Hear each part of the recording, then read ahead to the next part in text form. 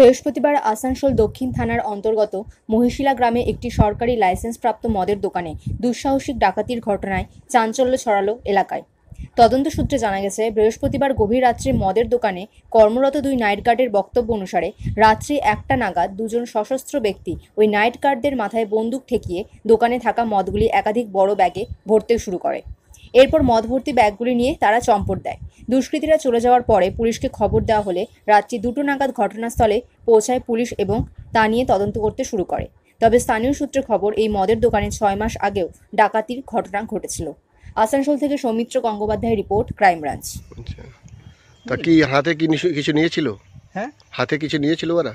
ওরা হাতে হ্যাঁ হাতে পিস্তল ছিল আর এরকম হাসুয়া হাসুয়াগুলো ছিল। আচ্ছা। পুলিশ এসেছিল? হ্যাঁ পুলিশ এসেছিল।